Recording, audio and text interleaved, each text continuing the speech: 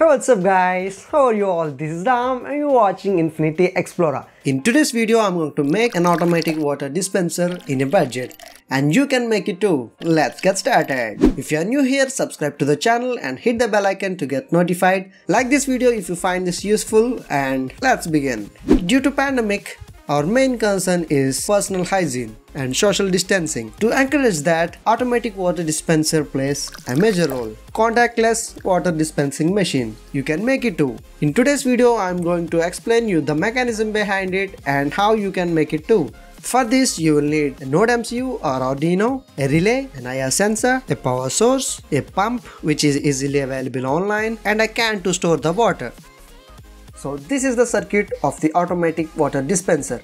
And if you have done some projects related to Arduino and Node MCU, it's a very easy concept for you. And if you're completely new to this, you can learn them online on YouTube and it's very simple. So let me go through the circuit diagram. Node MCU is connected to a relay and IR sensor is also connected to Node MCU. So whenever you place hand near the IR sensor, it sends signals to the Node MCU and Node MCU triggers the relay and it activates the pump. And the pump is submerged in a water tank or a can. It dispenses the water. That's it. And these all components are powered with a 9 volts battery or any power source. 5 volts is enough.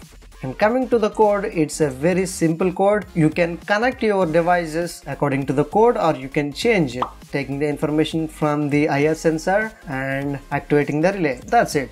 Simple code. Now let's connect the components and watch the machine in action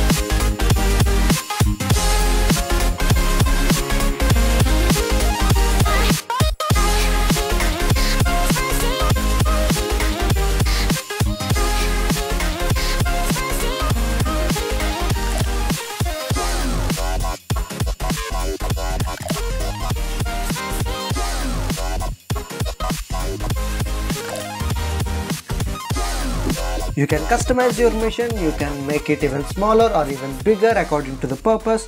You can use this machine as a water dispenser for washing hands. Think creatively and make a Panipuri water dispenser. And I'm going to make that one too. So stay tuned for that and subscribe to the channel if you haven't already.